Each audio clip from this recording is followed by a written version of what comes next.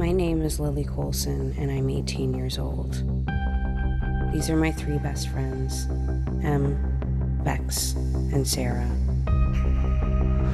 And this is the 100% true story of how my town, Salem, lost its motherfucking mind.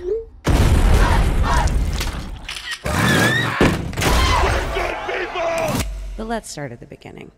Actually, not here because what I did that afternoon was really gross. Whoa, the principal's shit got hacked. Dude's fucking butt. I don't have like any sympathy for people that get their shit hacked. For real? There's two types of people in this world. People that have come to terms with privacy is just dead. Then there's the old people that are still trying to fight it. What do you have to hide anyway, Lil? a million nudes, super gross porn history, and like life altering shit talk about everyone in this school.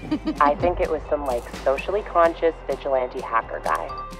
Probably jacks off to Fight Club in his mom's basement like every night. Looks like half of Salem just got hacked.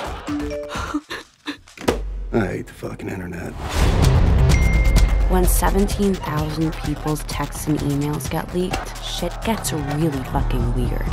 We got some Salem bitches on the ride. Slay 'em high, motherfucker.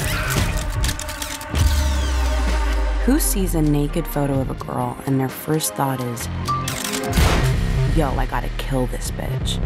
Where the fuck you think you're going, Lily? Way more people than you'd think. Don't test me! Softly accept this last week.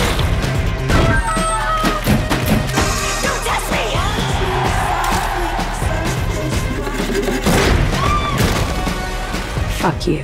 Don't test me! This is your world. You built this. Out on me. I just got here.